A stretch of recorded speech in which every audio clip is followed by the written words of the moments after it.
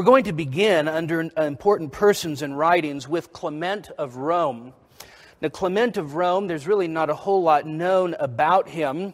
Uh, he might possibly be the Clement mentioned in Philippians 4 3, although that's uncertain. You need to understand Clement would have been a very popular name during that time.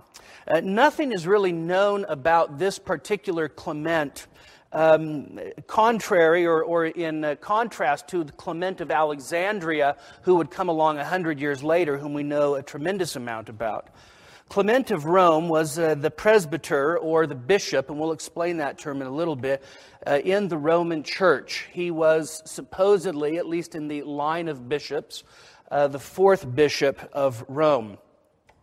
The reason Clement actually gets our attention is because the letter, First Clement, bearing his name, is the oldest non inspired, non canonical Christian writing that we have. It actually goes back to AD 95 96. And so it's very, very early. The letter that we have, known as First Clement, was written to the Corinthian church.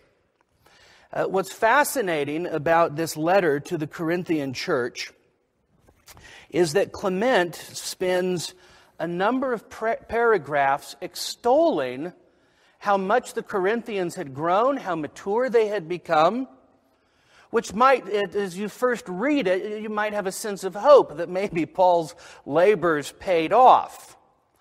But then you become very quickly aware, and I read uh, what is identified as as section 3, he says, But when good repute and rising numbers were granted to you in full measure, good reputation of the church, growing in numbers, the saying of Scripture came to pass My beloved did eat and drink, he grew and waxed fat and kicked.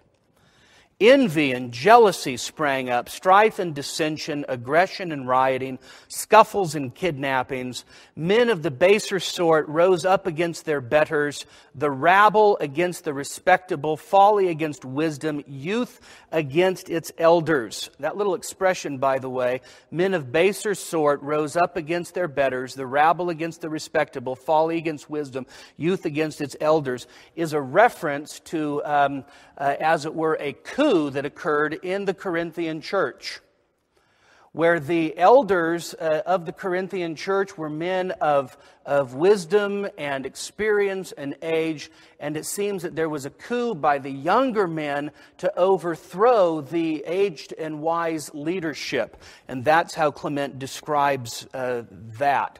He says, And now all righteousness and peace among you is at an end Everywhere men are renouncing the fear of God, the eye of faith has grown dim, and instead of following the commandments and living as becomes a citizen of Christ, each one walks after the desires of his own wicked heart. All have fallen back into the horrible sin of envy, the sin that brought death into this world. And so, as you begin to read on in 1 Clement, you realize that the sins that plagued the church during the Apostle Paul's day were the sins that plagued it decades later.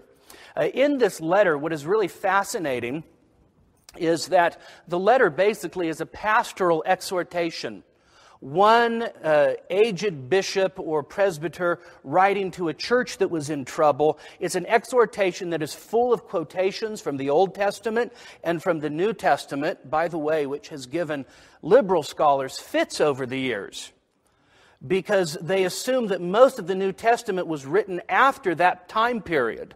Well, here are full quotations in Clement uh, to the church at Corinth from even the Apostle Paul.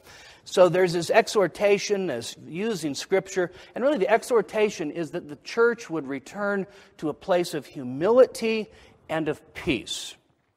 Uh, in it, it's warm, it's pastoral, it's filled with exhortation, and it's very instructive in terms of how the early apostolic fathers viewed the apostles Clement makes a very important distinction between himself and the Apostle Paul and the other apostles.